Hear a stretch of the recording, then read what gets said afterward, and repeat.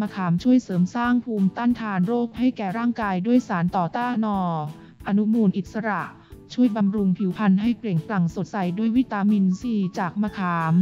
ช่วยในการชะลอวัยและการเกิดริ้วรอยแห่งวัย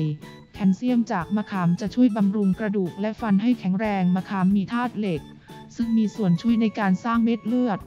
ใช้ในการทำซีตาเมนด้วยการนำมาขัดตามซอกขาหนีบ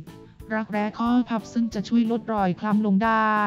นำมะขามเปียกไปแช่น้ำลอกเอาใยออก นำมะขามมาถูตัวเบาๆ ช่วยให้ผิวหนังชุ่มชื้นตลอดทั้งวัน และช่วยกำจัดแบคทีเรียได้อย่างมีประสิทธิภาพอีกด้วย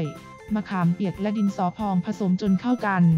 นำมาพอกหน้าทิ้งไว้ประมาณ 20 นาทีแล้วล้างออก จะช่วยให้ผิวหน้าดูกระชับสดใสและสะอาดยิ่งขึ้น